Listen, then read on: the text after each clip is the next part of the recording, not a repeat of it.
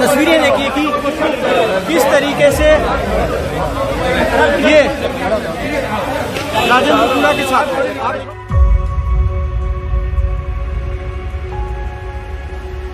बताना चाह रहा हूँ इन सारे लोगों को किस तरीके से कांग्रेस के नेताओं के ऊपर फ़िल्में बन रही हैं। मेरे पास वो डायरी थी, वो डायरी मेरी छीन ली गई। मेरे साथ इन्होंने सारे के सारे 25-50 लोगों ने एक साथ मेरे ऊपर हमला कर दिया। मेरे मेरे गुस्से मारे, धक्का मारा, लात मार के मुझे नीचे पटक दिया।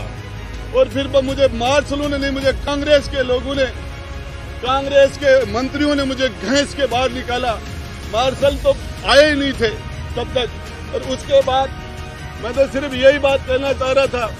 हमने अशोक गहलोत जी का चेहरा देख के इनको समर्थन किया था। हम इन्होंने इनकी रिक्वेस्ट पर इनके शामिल हुए थे।